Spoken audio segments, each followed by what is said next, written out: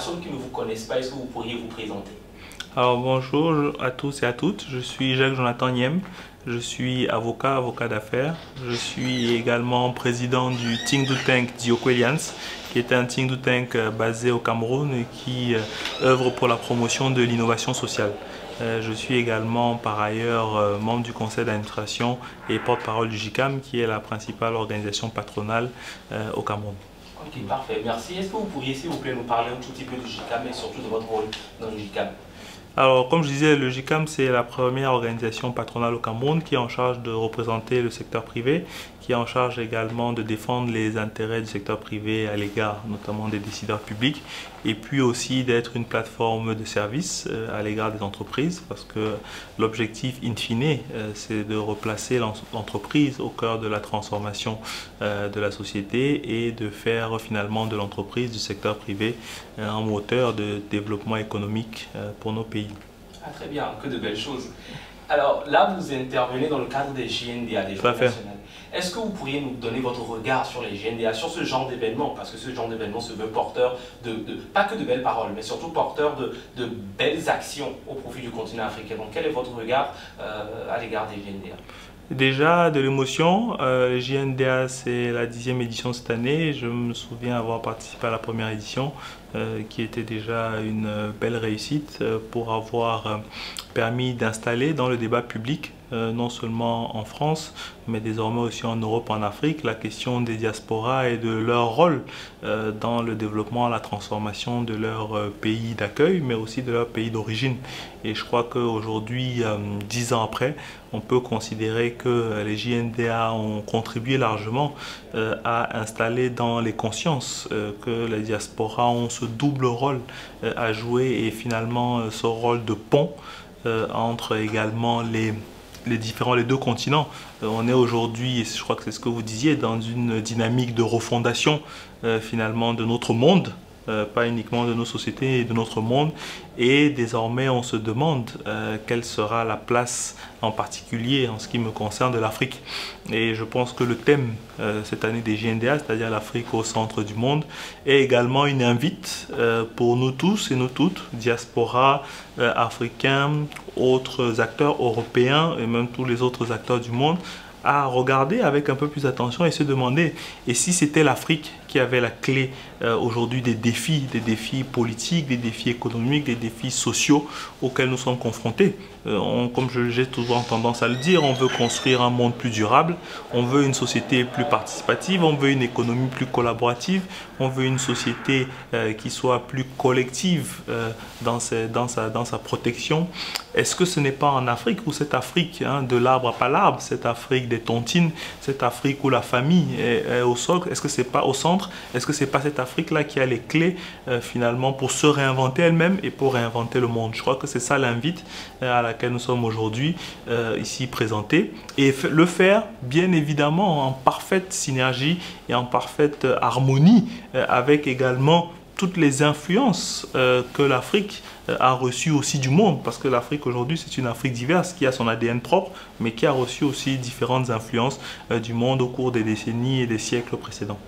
Ah, parfait, c'est une réponse extrêmement inspirante et surtout très complète. Est-ce que vous pensez, vous, de par votre posture là, vous êtes avocat et vous avez fait vos études ici ou, euh, en Afrique? Alors j'ai fait mes études, euh, euh, j'ai fait mes études jusqu'à la, jusqu'à la seconde au, Cameroun. Ensuite, je suis arrivé en France et j'ai fait la suite de mes études en France, au Royaume-Uni et, aux États-Unis. Parfait, parce que là on voit que vous êtes quand même imbibé dans la cause, imbibé de la cause africaine. Est-ce que vous pensez que la jeunesse africaine d'aujourd'hui, que la population africaine, même de manière beaucoup plus large, a conscience des problématiques, des enjeux et surtout de l'engagement qu'elle doit prendre, que cette population doit prendre au profit de l'Afrique. Ou est-ce que vous pensez que cette population jeunesse d'aujourd'hui est un peu dans, euh, ou amoindrit ses efforts par rapport à l'Afrique? Alors je vais vous dire, en 2010, on célébrait le cinquantenaire des indépendances de nombreux pays africains et je faisais partie avec d'autres euh, de ceux qui ont, initié à cette époque le collectif Oser l'Afrique. Et la, la, question que nous nous posions, c'était de nous dire, aujourd'hui c'est le cinquantenaire, dans 50 ans ce sera le centenaire. Quel est le bilan que nous, nous laisserons à nos enfants, aux générations futures de nos actions. Et donc, je peux vous dire en tout cas que depuis 2010, c'est-à-dire maintenant depuis plus de une 13, 13 ans à peu près, on voit un dynamisme aujourd'hui sur le continent où on a une jeunesse qui ne veut plus être spectatrice et qui veut devenir actrice de son destin. Maintenant, la question c'est comment est-ce que on arrive à structurer cela Comment est-ce qu'on arrive à lui donner les, capacités, cet empowerment dont on parle souvent et comment est-ce que euh, finalement on arrive euh, à se déployer de manière efficace et structurée Je pense que des plateformes comme celle des JNDA doivent aussi être l'occasion finalement de se poser cette question. Comment est-ce qu'on devient cette jeunesse qui montre l'exemple, cette jeunesse qui se met ensemble, cette jeunesse qui innove et cette jeunesse qui rayonne pour le plus grand bien de notre continent, mais, mais aussi du monde. Donc je crois qu'aujourd'hui, sur le continent africain, la prise de conscience est là, au sein de la diaspora aussi. Maintenant, notre responsabilité euh, en tant qu'acteur euh, de la société civile, c'est de créer davantage les conditions pour que 1 plus 1 ne fasse plus 2, mais que 1 plus 1 fasse 3 ou 5. C'est très pertinent et surtout vos propos démontrent un certain pragmatisme, une vision très pragmatique de la réalité, de la situation africaine. Et même par rapport à cette vision pragmatique, vous, le relevez, vous le soulignez très bien, il faut aujourd'hui mettre en place certaines institutions, certaines structures pour que la jeunesse africaine puisse se saisir de certains outils. Et au rang de ces outils, vous savez très bien qu'aujourd'hui, la tendance est à l'entrepreneuriat. La jeunesse africaine a envie d'entreprendre. Pourquoi Est-ce que c'est juste parce que, par peur du salariat, par quête d'indépendance, de, liberté? Quel regard portez-vous sur l'entrepreneuriat africain? Alors moi ce que je vais dire c'est qu'on a aujourd'hui une conviction hein, qui est de dire si vous prenez le cas du Cameroun, la jeunesse représente plus de 70% de la population. Est-ce qu'on est en mesure chaque année euh, de créer par exemple pour le Cameroun les 700 000 emplois nécessaires euh, qui permettront à cette jeunesse-là de pouvoir être active et de pouvoir répondre à ses besoins? La réponse est non. Qu'est-ce que faire à partir de là? Certainement, il y a une réflexion à faire hein, pour réinventer, j'imagine, euh, le travail et imaginer parce qu'il y a de nouvelles formes de travail. Mais néanmoins, on a une assurance derrière tout ça, c'est que l'entrepreneuriat va occuper une place importante comme réponse euh, finalement à cette question du sous-emploi. Néanmoins, ce que je voudrais dire quand même ici, c'est qu'il ne faut pas non plus euh, qu'on rentre dans la logique du tout entrepreneuriat ou du tout économie. Nous devons transformer la société euh, africaine dans son ensemble et donc la transformer dans toutes ses dimensions, dans sa dimension politique, dans sa dimension économique, bien évidemment, à travers l'entrepreneuriat et aussi dans sa dimension sociale. Parce que, effectivement, aujourd'hui, ce dont on se rend compte aussi, c'est que si on a un ou deux, trois entrepreneurs qui réussissent, si à côté d'eux, on est dans un îlot de pauvreté, un îlot de discrimination ou un îlot de guerre, ils ne pourront pas euh, eux-mêmes devenir ces acteurs à l'échelle mondiale qui vont permettre de transformer la société. Et même leurs propres entreprises peuvent être vouées à l'échec.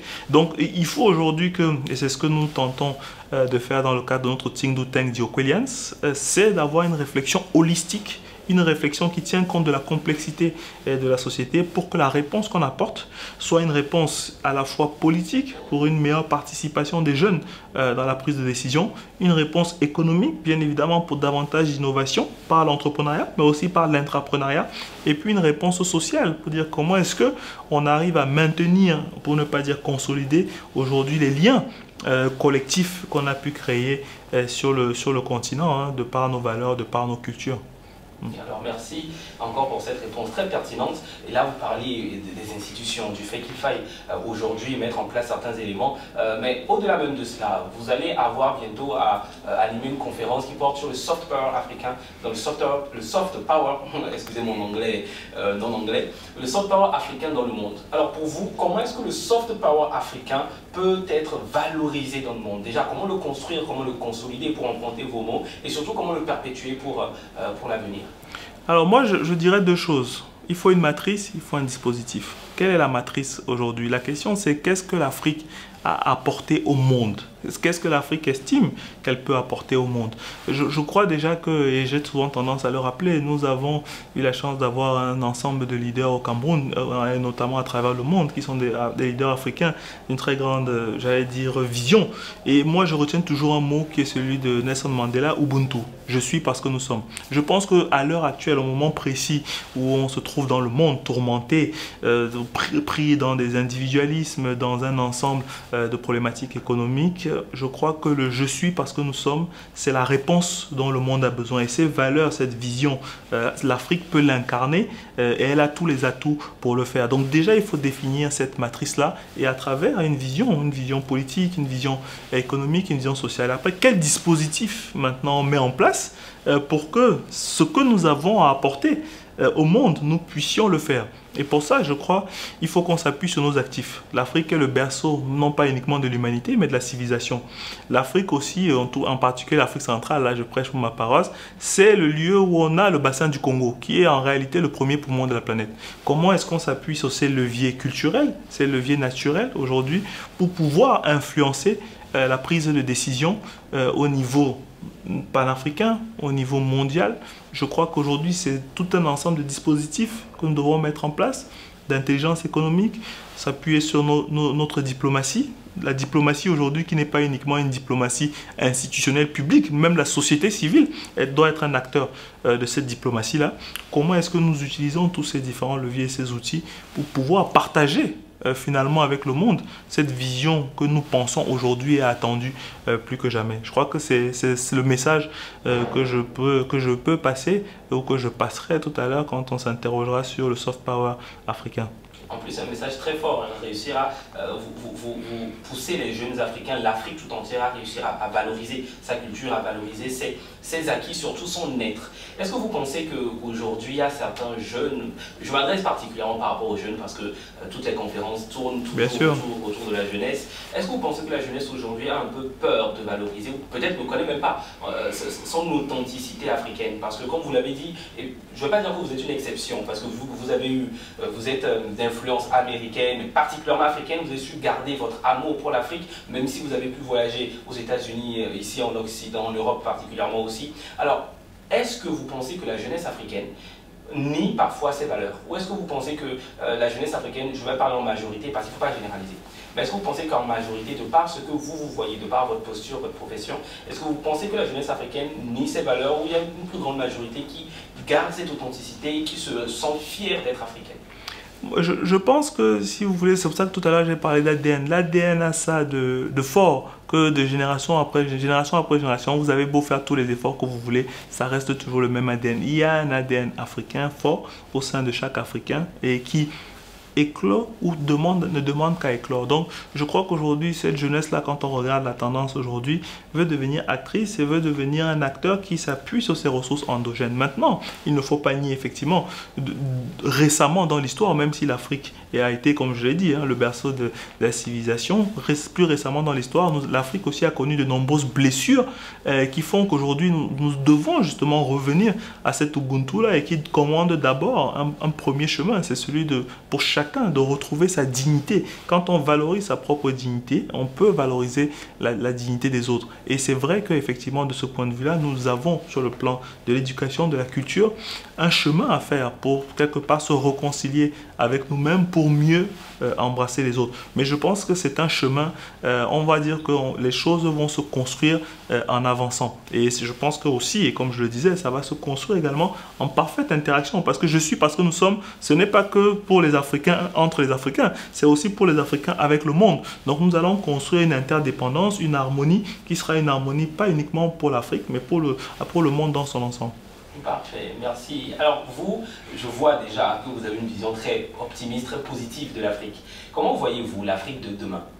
Alors, je, vais dire, vous avez dit très optimiste, très positif, oui, parce que comme je l'ai dit tout à l'heure, je pense que c'est en Afrique que nous, nous pouvons réinventer, euh, que nous allons réinventer euh, le monde de demain. Maintenant, je crois que de la même manière, pour que ça se fasse, il faut de l'action, il faut de l'engagement. Et en réalité, c'est ça le défi auquel nous sommes confrontés aujourd'hui. C'est le défi de l'engagement. Comment est-ce qu'on transforme euh, la jeunesse africaine qui aujourd'hui est vue par beaucoup finalement comme une bombe à retardement en feu d'artifice? Et donc moi, ce que je vois aujourd'hui, c'est que nous devons avoir une génération, une génération de leaders africains qui acceptent euh, de faire ce sacrifice euh, finalement de l'engagement pour que demain l'Afrique puisse apporter sa contribution au continent, mais au reste du monde. Donc je vois une Afrique de l'engagement, une Afrique du courage, et puis une Afrique certainement du sacrifice, mais un sacrifice pas que pour elle, mais pour le monde dans son ensemble.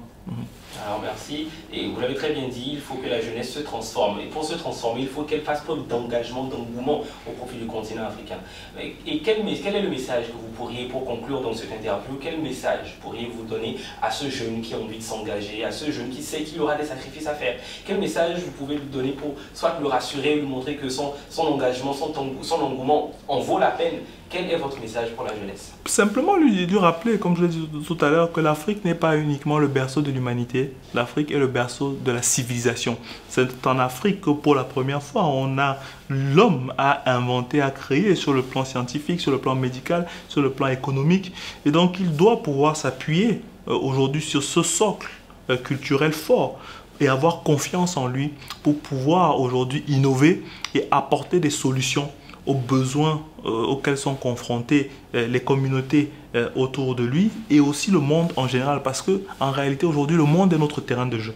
Et donc moi je dis à la jeunesse il faut oser, il faut oser autour de vous mais oser partout où on aura besoin de vous, partout où vous pourrez créer et, et innover. Des mots pleins d'engagement. Merci beaucoup, maître Jacques Jonathan Niembe. Merci, merci beaucoup. Merci encore au JNDA de m'avoir invité.